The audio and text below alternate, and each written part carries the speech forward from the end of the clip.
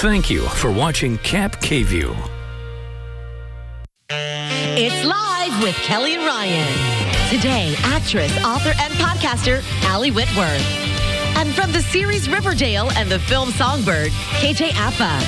Plus, Chef Michael Symon serves up a delicious spin on a traditional holiday favorite. All next on Live.